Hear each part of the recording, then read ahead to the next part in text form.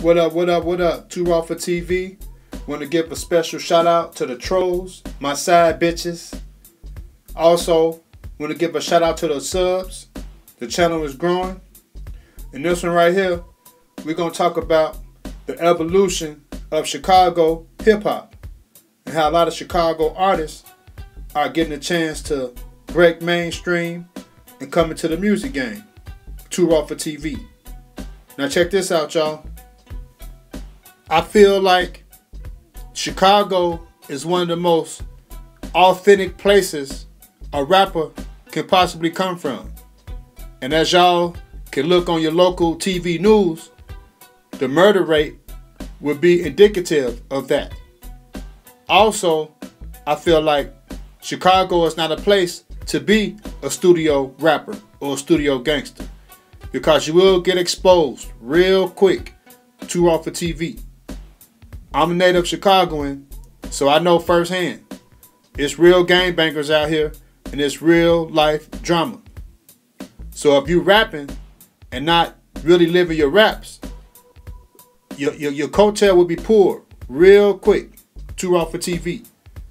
Now, Chief Keef will get most of the credit for putting Chicago on the hip hop map uh, as of late.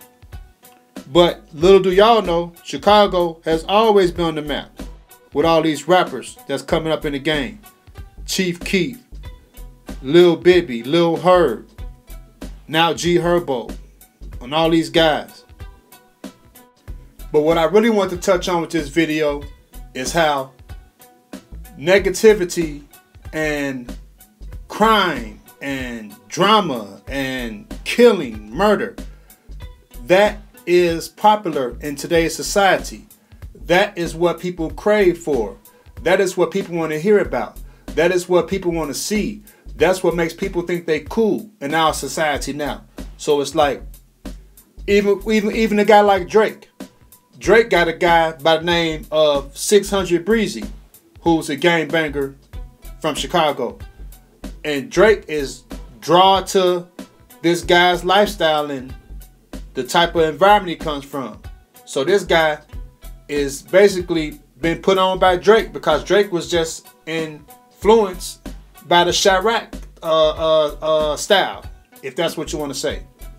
With the new song Drake got out now, Look Alive, you cannot tell me that that wasn't a Chicago influenced song as far as the lyrics.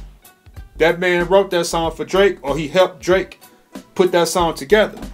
If you know the lingo, what Chicago people say, you know what I'm talking about. The part when he say, I got racks to go outside and I split it with the guys. That's Chicago lingo. That's what we say. We always talk about our guys. Too raw for TV. It's like we so backwards in today's society with our youth. It's like the gang bangers and the drug dealers get all the credit and they get all the glory. And that's who a lot of our youth inspire to be like. They don't want to go to school to be a doctor or a lawyer or to, to, to, to be a brain surgeon or something like that. That's not what they want to do.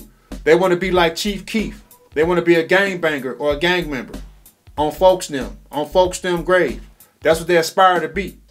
So to me, that's why Chicago has blown up because of the the violence that is known for and the people that represent that to other people around the country and around the world, they think that's cool. As crazy as that sounds, that's the truth. Too raw for TV. So y'all tell me what y'all think about this shit. Subscribe to the channel. Leave your comments down below. Peace.